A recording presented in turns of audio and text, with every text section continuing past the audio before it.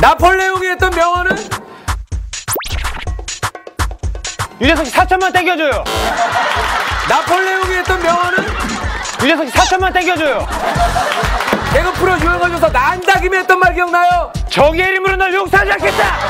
난다김에 했던 말 기억나요? 정의의 이름으로 널 용서하지 않겠다. 섹스피어의 4대 비극 중 하나인 헬비스의 명대사는 뭐죠? 신봤다. 신봤다.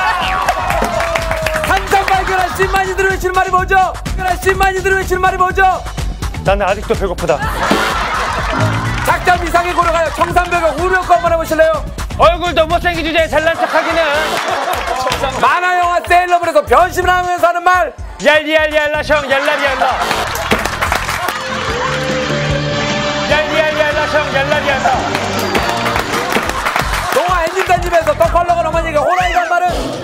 사느냐 죽느냐 그것이 문제로다. 사느냐 죽느냐 그것이 문제로다. 섹스피어의 4대 비극 중 하나인 헬비스의 명대사는 뭐죠?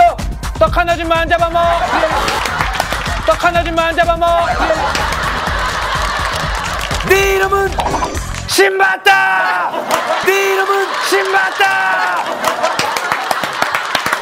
나폴레옹이 했던 명언은 아 이게 어야 이게